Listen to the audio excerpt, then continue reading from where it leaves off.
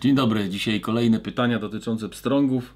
Mam nadzieję, że tym razem uda mi się zamknąć w 15 minutach, chociaż są co do tego pewne wątpliwości. Przechodzę do rzeczy. Kolega Pink Perch. Chyba zaczynam rozumieć, co miał pan na myśli, mówiąc, że inne ryby niż pstrągi mogłyby dla pana nie istnieć. Zamykam oczy i widzę wartki nurt rzeki trącone pod wodnymi konarami. Witamy w klubie. I tutaj pytanko, czy to prawda, że zimowe pstrągi stronią od szybkiego nurtu i raczej powinniśmy ich szukać w bardziej spokojnej wodzie? A może zdarzają się wyjątki i kropki pozwalają sobie na szaleństwo w postaci żeru na bystrych odcinkach rzeki? No raczej nie. E, Jest pan na tropie dobrej odpowiedzi, to znaczy w okresie zimowym. Właśnie teraz pstrągi e, zdecydowanie preferują spokojne odcinki rzeki, nawet już nie ten pogranicze bardzo bystrej wody i, i wolniaków, tylko zdecydowanie te zakola takie ze spokojną, nawet stojącą wodą. E, Z dwóch powodów. No, są jeszcze potarle nieodpasione, bo w zimie nie ma za dużo pokarmu w większości rzek, więc e, nie mają tyle energii. No a poza tym właśnie w tych miejscach pojawia się pokarm, który jest łatwy do, do, do zdobycia bez wielkiego wysiłku, bez y, wydatkowania energii, której takim właśnie w tym momencie brakuje, czyli właśnie przede wszystkim żaby. Ale w takich miejscach o spokojnym, spokojnej wodzie są też inne ko- smaczne kąski, jak na przykład owady, które tam zimują i tak dalej. Warto zwrócić uwagę na fakt, że na, na samym początku zimy pstrągi często przebywają bezpośrednio poniżej tarlisk. Tarliska, jak wiecie, są właśnie na takich bystrych, płytkich odcinkach. O żwirowym dnie musi być żwir, odpowiedniej granulacji nawet. Nie każdy żwir się nadaje e, do tarła, e, co w wielu rzekach widać, bo, bo tarliska są skupione w jednym miejscu, po to, pozornie żwir jest wszędzie, a w jednym miejscu jest e, bardzo dużo gniazd, w innym nie ma. Także często na początku zimy warto zwrócić uwagę również na te dołki, które są bezpośrednio położone poniżej tarlisk, bo tam z pewnością część tarlaków odpoczywa, no i tam można je y, y, znaleźć i złowić. Kolejne pytanie od szalonych szczupaków z Polski, czyli Crazy Pike Team Poland. No dobra, mówi się duża przynęta, duża ryba, ale czy warto próbować na pstrągi woblerów na przykład 10, 13, 15 cm? Mówię to o woblerach typowo sandaczowych. Głębsze rzeki z głębokimi dołkami. Jak pan myśli? No cóż, tak jak wszystkie drapieżniki, e, pstrąg jest oportunistą, czyli dostosowuje się e, do zmian w swoim otoczeniu i e, pobiera pokarm, który najliczniej występuje w danym momencie, na danym odcinku rzeki i jest najłatwiejszy do pochwycenia. Czyli tak jak mówiłem, należy bardzo dokładnie wiedzieć, co się w danym e, momencie w rzece dzieje, na którym odcinku, żeby dobrać się do tych najbardziej cwanych, największych osobników. Bardzo rzadko receptą na, e, na sukces jest duży wobler. Tak jak mówiłem to wiele razy, zdecydowanie odradzam skupianie się na samej przynęcie, jako na recepcie na złowienie dużej ryby, dużego pstrąga, bo to jest, no to jest ślepa uliczka po prostu. Natomiast są takie momenty, oczywiście, są takie miejsca, e, gdzie warto zastosować duży, dużą przynętę, na przykład dużego woblera, ponieważ właśnie takie ofiary są preferowane w danym momencie przez duże pstrągi. I no i trzeba teraz uruchomić wyobraźnię trochę, żeby sobie odpowiedzieć gdzie i kiedy. Pierwsze co mi przychodzi do głowy to jest e, na przykład to są odcinki rzek pstrągowych, do których wpadają odprowadzelniki od stawów karpiowych. Tam e, co jakiś czas jest spuszczana woda. Inna sprawa, czy to dobrze wpływa na środowisko tej rzeki. Na pewno nie, no ale takie mamy sy- sytuacje w kilku miejscach w Polsce, że te odprowadzalniki e, wpadają bezpośrednio do, do odcinków, e, na których żyją e, duże pstrągi i tam one oczywiście z tego korzystają, z tych karasi, z tych małych karpi i innych ryb, które spływają z prądem właśnie po spuszczeniu tych stawów. I tam zdecydowanie wtedy preferują dużo, duży pokarm, czyli czy to, czy to jest wtedy 15 cm ryba, no raczej nie, bym. Raczej powiedział 7-10 cm. No ale wtedy rzeczywiście warto założyć większą przynętę, bo te wielkie pstrągi w tym momencie akurat preferują albo zaraz po spuszczeniu tych stawów, kiedy przyzwyczaiły się, że to jest sporo takich oszołomionych e, ryb średniego rozmiaru, łatwych do pochwycenia, warto wtedy zastosować większą przynętę, większego woblera czy większą gumę. Inna sytuacja, kiedy warto by było założyć dużo, dużą przynętę, większą niż zwykle, to jest oczywiście tarło niektórych ryb. Tak jak już mówiłem wcześniej, ryb, które są potencjalnymi ofiarami pstrąga, takich jak głowacz, jelec, piekielnica, strzebla czy w niektórych miejscach płoć.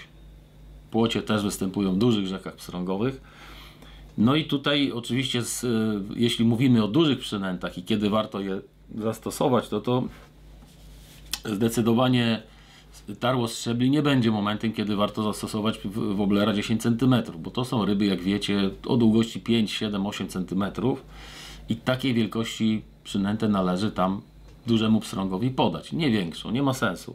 Natomiast jeśli w rzece, dużej rzece, yy, tu mi przychodzą do głowy takie rzeki jak Wda, Brda, e, te rzeki pomorskie wszystkie na odcinkach trociowych, gdzie są wszystkie właściwie ryby, które ży, żyją w jeziorach czy w dużych rzekach, jak na przykład płocie czy okonie, te ryby okresowo mogą stanowić pokarm strągów, szczególnie tych dużych i na pewno tak się dzieje. W związku z tym trzeba wiedzieć, kiedy jest tarło płoci czy jelca, który też, no powiedzmy, dorasta do, do 40 cm, ale takie 25 cm, 20 cm wydzierają się i wielki pstrąg spokojnie może taką rybę zjeść. Więc wtedy wobler 10 cm, 12, może nawet większy, wydaje się, że może być dobrym rozwiązaniem. Może być receptą na złowienie tam tego największego e, pstrąga w okolicy. Oczywiście o, o terytorializmie pstrągów już mówiłem wcześniej. Przy normalnych warunkach żerowiskowych, czyli jeśli nie ma nadmiaru jakiegoś pokarmu, na przykład w czasie rójki, jętki, kiedy duże pstrągi żerują obok siebie, duże i małe, e, to generalnie pstrąg odgania mniejszych czy słabszych konkurentów, bo często nieco mniejszy pstrąg jest bardziej agresywny i potrafi większego odgonić, no ale ten z kolei mniejszy jest przeważnie najbardziej gruby, najsilniejszy, naj, najlepszej kondycji. W każdym razie e, pan danego dołka odgania mniejszych, słabszych konkurentów od, od tego najlepszego miejsca na, w tym dołku i w takich właśnie sytuacjach często może zapracować nam duża przynęta, duży wobler, który może być, e, czy powinien być nawet w kolorze pstrąga. Ja to stosowałem wiele razy. Szczerze mówiąc, y, mega kabana nie złowiłem. Złowiłem takie ryby poniżej 50 cm, stosując tą właśnie metodę e, na intruza. No ale myślę, że, e, że no, wędkarstwo jest dlatego takie piękne, że po prostu trzeba zawsze próbować i, i czasami mamy farta i pewna teoria mo, może nam się sprawdzić w praktyce. Przypominają mi się tu oczywiście opowieści kolegów z dawnych czasów, co prawda, no bo te, tych wielkich pstrągów, jak wiecie, jest coraz mniej, coraz mniej z roku na rok. Nie tylko dlatego, że są z, i były zawsze zabijane i zjadane, no, ale również dlatego, czy przede wszystkim dlatego, że coraz mniej jest tarlisk, coraz gorsze warunki w tych rzekach, środowiskowe warunki. Nie tylko dotarłe, ale również po prostu do życia dla pstrągów. No ale y, z dawnych czasów pamiętam te opowieści właśnie z Gdy, z Brdy, gdzie były łowione wielkie pstrągi na duże przynęty. Byli tam specjaliści, zwykle miejscowi, e, którzy łowili na duże wahadłówki w rodzaju Alga dwójka na przykład. Nie wiem, czy pamiętacie taką przynętę. No jest jeszcze gdzieś w ofercie pulspingu. Albo duże woblery, albo duże gumy. Y, Ci miejscowi, z tego co pamiętam, nam dwa takie przypadki bodajże na gdzie, gdzie był, byli tacy e, goście, których nie poznałem osobiście, ale opowiadano mi o nich, którzy łowili na duże gumy. Gumy po prostu dlatego, że były trochę tańsze od woblerów, E, no a tam się sporo urywało. No. E, To są ogromne rzeki z wielkimi, z wielkimi opowalonymi drzewami. Tam można sobie wyobrazić pstrąga dowolnej wielkości, w takim dole 4-5 metrowym, gdzie leży, gdzie leży stuletni dąb powalony albo ogromna sosna. Pod nim jest y, wielki dół. No i naprawdę wtedy trzeba zastosować porządny sprzęt, bo tam właściwie wyjąć tak, taką wielką rybę z takiego miejsca nie jest łatwo. No z tego co pamiętam opowiadano o takich właśnie, o takich wędkarzach, którzy stosowali gumy tam 12 cm, 10-12 cm czy 15 e, i łowili kilka ryb w roku, no ale to były ogromne ryby, powyżej 3 kg przeważnie. Także warto próbować również z dużymi przynętami. Jak ktoś ma cierpliwość, może akurat trafić na taki moment, kiedy ten wielki pstrąg żeruje na, duży, na dużych e, ofiarach, no i złowi tą swoją upragnioną wielką rybę. Natomiast nie wydaje mi się to dobrą receptą na e, łowienie przez cały rok, bo e, z moich obserwacji, nie tylko z moich wynika, że generalnie pstrągi preferują niewielkie, niewielkie ofiary, przez większą część roku w większości rzek to są owady. E, przez krótkie okresy w tych rzekach, na niektórych odcinkach są to ryby, oczywiście, tak jak mówiłem wielokrotnie, albo żaby. Więc należy bardzo dobrze obserwować, co się dzieje w danej rzece. I oczywiście rzeka rzece nierówna, południe, północ, zupełnie dwa światy. I na dodatek jeszcze, żeby było trudniej, to na tej samej rzece na odcinku jednym w danym momencie ryby będą preferowały małe owady, na drugim będą preferowały cierniki, które akurat tam się masowo trzą. Także słuchajcie, no tak jak mówiłem, nie jest to sprawa prosta, ale naprawdę bardzo ciekawa i wciągająca. Kolejne pytanie od kolegi Chill Out. Panie Piotrze, od kilku lat uganiam się za kropkami, to moja ulubiona ryba, a wpływ na to miała urykliwa rzeka, która płynie od mojego domu. Szybko wyczaiłem, że łowne są minoły i przynęty salmą to moje ulubione przynęty na kropki. Ale nie o tym chciałem. Pytanie. Yy, chciałem zapytać o to, jak łowić. Z prądem czy pod prąd? Jak pan mógłby lepiej rozwinąć temat i wytłumaczyć, dlaczego powinno się łowić tak, a nie inaczej? Czy w zimie tylko łowi się pod prąd? No to jest oczywiście temat bardzo szeroki. Myślę, że tutaj warto by było zacząć od definicji, co to znaczy łowienie z prądem i pod prąd. E, oczywiście każdy może to rozumieć po swojemu. E, ja to rozumiem tak. Jeśli prowadzę przynętę z prądem, nazywam to łowienie z prądem. Jeśli prowadzę przynętę pod prąd, nazywam to łowieniem pod prąd. Jakie są zalety łowienia z prądem?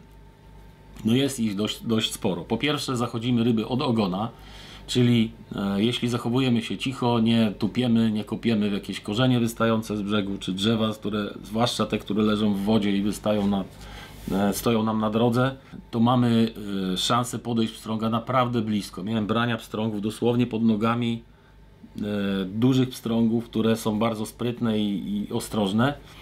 I to był najlepszy dowód, że udało mi się bardzo cicho podejść do tej ryby. Co jest o wiele trudniejsze, jeśli idziemy z prądem, i wchodzimy prosto na strąg, oczywiście stoi głową pod prąd, widzi nas, wystarczy poruszyć krzakiem, wychylić się, nie ma szans takiego, takiej ryby złowić, dużej ryby, po, po, powtarzam. Natomiast idąc pod prąd, zachodzimy od ogona, stajemy jej nad głową, ona nas nie widzi, no i mamy szansę złowić. Druga sprawa, prowadzimy przynętę, prezentujemy przynętę w sposób jak najbardziej e, naturalny. Jak wiecie, Większość, tak mówiłem o tym wiele razy, większość pokarmów pstrąga to są obiekty, które spływają z prądem, tak zwany drift. Czyli czy to są owady w różnych stopniach rozwoju, czy to są z kolei żaby. Te wszystkie obiekty są znoszone z prądem na, na różnej oczywiście głębokości. To jest inna historia, ale poruszają się z prądem.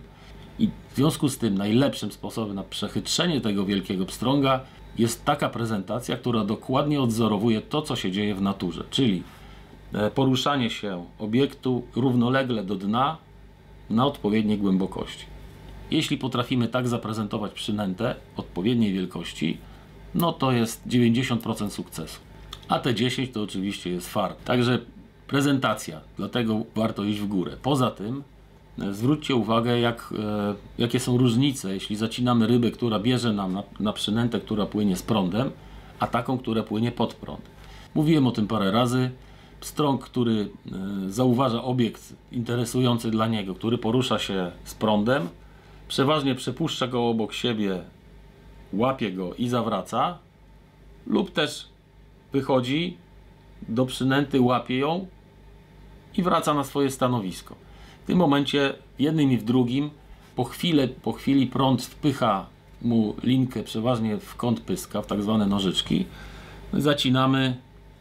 W zasadzie 90% takich ryb się wyciąga, bo jest, są bardzo dobrze zacięte. Porównując to z zacięciem ryby, e, która wzięła na przynętę prowadzoną pod prąd, tu mamy rybę, tu jest przynęta, mija rybę, lub też pokazuje jej się przed pyskiem w ten sposób, co jest lepszym zdecydowanie rozwiązaniem. Pstrąg dogania przynętę, łapie ją i w tym momencie zacinamy. No ale zwykle pyskiem trafia na, no zdarza się, że połyka całą przynętę, dwie kotwice w oblerze i do widzenia, ale najczęściej jest tak, że, że w pysku ma, na, na przedzie pyska ma tą kotwicę tylną, ogonową, zapina się na jeden, dwa groty, od razu jest zupełnie inne są przełożenia. Zacięcie jest słabe, generalnie pod prąd. Prąd pomaga rybie w, w walce, to jest drugi punkt. No i bardzo często parę myłynków i ryba się wypina. Więc tak jak powiedziałem, to jest druga sprawa. Pewne zacięcie. Trzecia to jest hol. Hol z prądem jest dużo prostszy, dlatego że ryba musi walczyć zarówno z naszą siłą, którą my wywieramy, jak i z prądem. I nie należy tego zmieniać, nie należy przechodzić w drugą, e, zachodzić ryby od głowy i próbować ją e, holować pod prąd. To jest największy błąd. Trzeba zdecydowanie tak sterować holem, żeby ryba parła pod prąd. Cały czas pod prąd, więc szybciej się zmęczy, szybciej ją będziemy mogli podebrać. To jest trzecia sprawa, czy czwarta. Podstawiamy podbierak, ryba wpływa do podbieraka. Nie należy łapać ryby, e, co widać na wielu filmach, nie tylko pstrągowych, szczupakowych, jak ludzie łapią podbierakiem, próbują, próbują łapać jak, jak siatką na motyle E, tą rybę, która gdzieś tam się chlapie i przeważnie kończy się tak, że zaczepiają siatką za, za kotwicę i do widzenia. Po, po zabawie ryba się wypina. Także podstawiamy siatkę, dopiero jak ryba już jest zmęczona, przestaje się chlapać i po prostu ją z prądem wpuszczamy do podbieraka. Więc dobrze jest być też wtedy ustawionym pod prąd. To są niewątpliwe zalety łowienia z prądem. Natomiast yy, jeśli chodzi o łowienie pod prąd, no to zdarzają się takie przypadki, że niestety musimy łowić pod prąd. Jest ich wiele, pozwólcie, że wymienię tylko kilka. E, są takie momenty, kiedy e, musimy prezentować przynętę, która nie porusza się z prądem, tylko stoi w miejscu lub też przemieszcza się w poprzek, poprzek nurtu, poprzek nurtu, tak? Lub też czasami pod prąd wolno. E, trzeba obserwować to, co się dzieje w rzece, tak jak już mówiłem, i na przykład cierniki generalnie E, poruszają się w poprzek nurtu lub też stoją w pewnych miejscach, jeśli jest właśnie taki czas, kiedy pstrągi preferują w danym miejscu, w danym momencie e, cierniki, to przeważnie ustawiają się za takim miejscem, gdzie ma miejsce tarło cierników e, i w momencie, kiedy taki ciernik jakiś tam się zagapi, gdzieś spłynie z prądem i od razu jest pożerany. Lub też pstrągi wpadają w to stado cierników, łapią sobie jednego lub kilka i wracają na swoje stanowiska. E, jak imitować tego ciernika? No przejrzyjcie się, jak one się zachowują. E, generalnie nie pływają na boki, nie, jakoś nie baraszkują, tak jak na przykład jelce, czy, czy piekielnice, czy strzeble, tylko przesuwają się w, na boki. Delikatnie w prawo, w lewo, ale to, są, to są takie, no powiedzmy, ruchy nie, nie, niezbyt dalekie i właśnie tak trzeba pre, prezentować przynętę. Nie ciągniemy jej bardzo szybko pod prąd, Możemy ją delikatnie spuszczać i podciągać. Możemy ją przesuwać na boki w niewielkich, od, od, na niewielkich odcinkach i często tak przynętę trzeba prezentować dość długo, żeby pstrąg się przekonał i ją za, zjadł. To nie jest tak, że wrzucamy, zdarza się, ok, zdarza się czasami, że tak jest, ale generalnie na te ciernikowce trzeba troszkę się bardziej wysilić, zaprezentować małą przynętę w odpowiedni sposób, w odpowiednim miejscu, w odpowiedniej strudze wody, którą akurat pstrąg obserwuje wychodzi czasami 20 cm spod karpy, łapie ciernika i wraca. Jeśli pokażemy mu ciernika za nisko lub też za daleko od tego miejsca, on go nie weźmie. Ja to wielokrotnie przerobiłem. Nad jednym strongiem siedziałem pół godziny, zanim go złowiłem. Cały czas żerował, pobierał cierniki i po pół godzinie dopiero trafiłem idealnie w to, w to okno, w które on obserwował i wziął mi. Bardzo fajna ryba, ponad 60 cm. Także to jest taki przykład na konieczność prezentacji schodzenia z prądem i prezentacji pod prąd lub też w poprzek nurtu. Może to jest lepsza nazwa. Drugi przykład to jest obławianie odcinków o podobnej głębokości z muldami na dnie. Ma to miejsce teraz e, w zimą czy tam e, wiosną. Są takie momenty, kiedy na przykład jest przybór wody, pstrągi z domu wychodzą z tych swoich kryjówek, wychodzą na odcinki e, płytsze, takie o głębokości pół metra, metr dwadzieścia, półtora metra i można ich się spodziewać zarówno pod jednym, jak i pod drugim brzegiem i na środku rzeki. W związku z tym e, bardzo trudno jest, a właściwie niemożliwe jest właściwa prezentacja idąc w górę rzeki. Można iść w górę i rzucać pod drugi brzeg i łukiem sprowadzać przynętę na swojej wysokości, ale zwróćcie uwagę, że jeśli, jeśli prowadzimy przynętę, która właściwie jest na naszej wysokości, to pstrąg, który wyjdzie gdzieś tam ze środka i podąża za przynętą, może nas zobaczyć, bo jesteśmy dokładnie na wysokości ryby. Więc moim zdaniem dużo lepszą e, taktyką jest schodzenie wtedy z prądem. Dalekie rzuty, powiedzmy, no, więcej niż 45 stopni pod drugi brzeg. Rzucamy pod drugi brzeg i prowadzimy przynętę po jednej długości linki po promieniu. Wtedy obławiamy idealnie całą szerokość rzeki. Robimy dwa kroki następny rzut i znowu tak. I tak dalej. Powtarzamy to n razy. Jest to dość nudne, ale bardzo efektywne, jeśli chodzi właśnie o takie specyficzne momenty. Obławianie dość prostych odcinków o jednej głębokości, gdzie z jakiegoś powodu duże pstrągi powinny się ustawiać w różnych miejscach. Z mojego doświadczenia wynika, że najbardziej efektywne jest łowienie mieszane, czyli niezależnie od tego, czy idziemy pod prąd, czy idziemy z prądem, to warto zawsze popatrzeć za siebie, czy dane miejsce nie wymaga E, ponownego spenetrowania i trochę innej prezentacji przynęty, tej czy innej. Są takie miejsca, które ewidentnie aż się proszą, żeby to zrobić, bo jest, może to być miejsce, gdzie nawet spory odcinek e, brzegu, który jest zupełnie niedostępny i na, y, dlatego w, no, trzeba na przykład spuścić wobler pływający daleko w dół z prądem i tam y, nawet z dużej odległości, kilkunastu, nawet 20-30 metrów, spenetrować jakieś podmycie, jakieś zwalone. Na środku drzewo, pod którym widać fajną dziurę i która nie była dostępna idąc w górę, więc wtedy z, y, jesteśmy wyżej, spuszczamy wobler i tam z dużej odległości próbujemy skusić tego pstrąga. To naprawdę działa, spróbujcie, bo wielokrotnie się przekonywałem, że wędkarze idą, niezależnie od tego czy z góry, czy z dołu i po prostu omijają takie miejsca, odbierając sobie szansę złowienia wielkiej ryby po prostu, bo już przeszli to miejsce, dobra, później może coś tego, kiedy indziej. No i przeważnie nic z tego nie wychodzi. Także mieszane łowienie. Yy, no oczywiście trzeba też powiedzieć, że łowienie z prądem czy pod prąd to jest kwestia temperamentu. Ja kiedyś e, łowiłem wyłącznie idąc w górę rzeki, prowadziłem przynętę z prądem, to jest bardziej dynamiczne łowienie, dużo się kilometrów robi. No jest bardzo ciekawe, trzeba precyzyjnie rzucać, trzeba trochę, może więcej kondycji. Lata lecą, niestety kondycji nie przybywa, wręcz przeciwnie, dlatego teraz raczej chodzę, częściej chodzę z prądem. Bardzo dokładnie staram się obławiać e, każde miejsce. Nawet jeśli idę z prądem, to potem poprawiam pod prąd.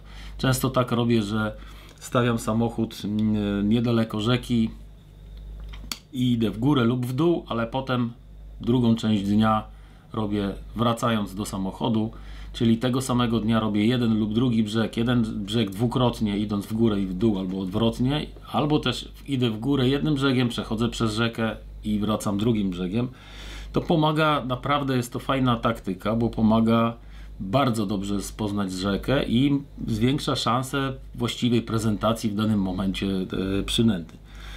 No bo każde miejsce jest inne i trzeba do niego podchodzić. Nawet z dnia na dzień się coś tam zmieni, więc warto to obserwować i warto się dopasowywać do, e, do tych zmienionych warunków. Ale po prostu to jest kwestia temperamentu, tak jak powiedziałem. E, jeśli ktoś nienawidzi schodzenia z prądem, bo to jest zbyt nudne dla niego, to pamiętajcie, to ma być zabawa, to ma być fan, więc nie ma co się zmuszać e, do nudnego łowienia. Próbujmy raczej dopasować swoje techniki do swojego temperamentu, a nie odwrotnie, no bo, bo na końcu musi być z tego przyjemność. No i ostatnie pytanie odnośnie pstrąga. E, jakiś czas temu ktoś zapytał, e, no dobrze, kiedy właściwie u nas wycierają się te gatunki, które potencjalnie mogą być ofiarami pstrągów. E, to są, tak jak mówiliśmy, głowacze, cierniki, strzeble, jelce, piekielnice, no i minogi. No trudno jest to jednoznacznie określić z wielu powodów. Przede wszystkim dlatego, że chociażby klimat się zmienił, widzimy to na własne oczy w ciągu ostatnich kilkudziesięciu lat. Zatarły się wyraźne granice e, między porami roku. Poza tym mamy, no, no, kraj jest dość szeroki, występowały zawsze różnice klimatyczne między północą a południem Polski, rzeka rzece nierówna, więc trudno powiedzieć e, o, dokładnie określić czas tarła danych gatunków, ale wszystkie te wymienione gatunki wycierają się na wiosnę najwcześniej jelce, bo mogą zacząć już w marcu, najpóźniej, y, najpóźniej strzeble, bo często w czerwcu się wycierają. Po prostu należy obserwować tę y, swoją rzekę, rozmawiać z, z, z doświadczonymi starymi wędkarzami, którzy tam od lat łowią. Oni wskażą Wam miejsce, gdzie to tarło się odbywa, bo to jest bardzo ważne, nie tylko termin, nie tylko termin odbywania tarła, chociażby minogi wycierają się w bardzo specyficznych miejscach, w jednym, dwóch miejscach na rzece i nie ma sensu imitować minoga tam, gdzie akurat tarło ma ciernik i ciernik stanowi główną e, zdobycz pstrągów, a nie minóg. Natomiast jeśli, jeśli trafimy na tarło minoga, on jest e, bardzo chętnie pożerany, tak jak mówiłem, e, przez duże pstrągi, no i po prostu warto tam wtedy zastosować imitację minoga i prezentację odpowiednio odpowiedniej przynęty. E, Więc tak jak powiedziałem, właśnie dlatego łowienie pstrągów jest tak wspaniałe, że mają tak szeroką gamę pokarmu. No i z jednej strony to jest bardzo trudne, ponieważ musimy poznać obyczaje pstrągów, wszystkie zjawiska, które mają miejsce w danej rzece w danym czasie, ale z drugiej strony każdy, kto potrafi połączyć bardzo dobre umiejętności techniczne, precyzyjnego rzucania i panowania nad sprzętem z wiedzą o łowisku, zwykle prędzej czy później zaczyna zupełnie e, nową przygodę z łowieniem pstrągu, bo po prostu zaczynają mu brać te pstrągi. No i tylko kwestią czasu jest złowienie naprawdę dużej ryby. Czego Wam wszystkim życzę. Kończąc dzisiejszy odcinek, namawiam do wysyłania kolejnych pytań, do subskrypcji mojego kanału, no i do odwiedzenia mojej strony ppprofishing.com. Do zobaczenia nad wodą.